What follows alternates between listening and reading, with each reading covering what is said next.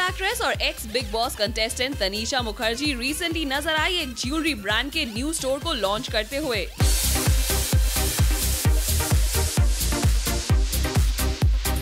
Display पर रख के ज्वेलरी पीसेस को देखकर तनीषा दिखी काफ़ी impressed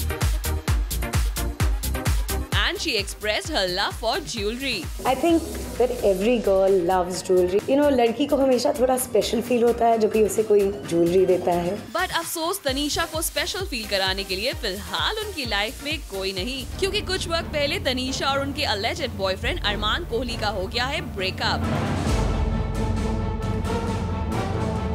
जिस बात का खुलासा खुद अरमान ने एक ट्वीट करके किया है।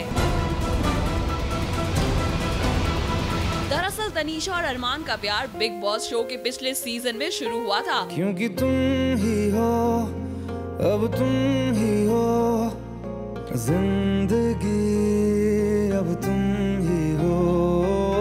और शो खत्म होने के बाद भी ये दोनों काफ़ी वक्त तक साथ रहे लेकिन अक्टूबर में इन्होंने अपने रिलेशनशिप को खत्म करने का फैसला किया।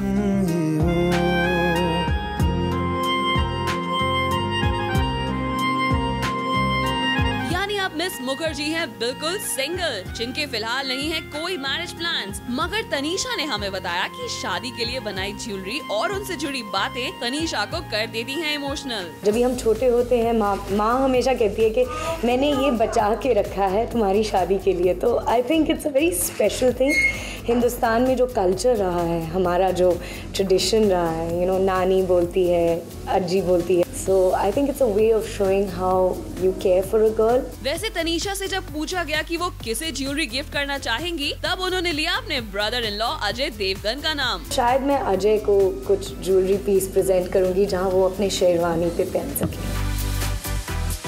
वेल तनीषा ऑब्वियसली अब आप अरमान को तो गिफ्ट देने से रही तो जीजा जी ही सही। वैसे यहाँ तनीषा ने अपनी फेवरेट ज्वेलरी पीस के बारे में भी हमें बताया। मैं हमेशा मेरे रिंग्स पहनती हूँ so I am very comfortable in my rings I wear a lot of rings and I love nice big rings जब भी मैं बाहर जाती हूँ. I am loving what I am wearing ये रिंग तो ठीक है। वी जस्ट होप कि आपको वेडिंग रिंग पहनाने वाला बहुत जल्द मिल जाए ताकि आपकी शादी में अजय आपके दिए ज्वेलरी पीस को अपनी शेरवानी पर पहन सके। We wish you all the best えっ?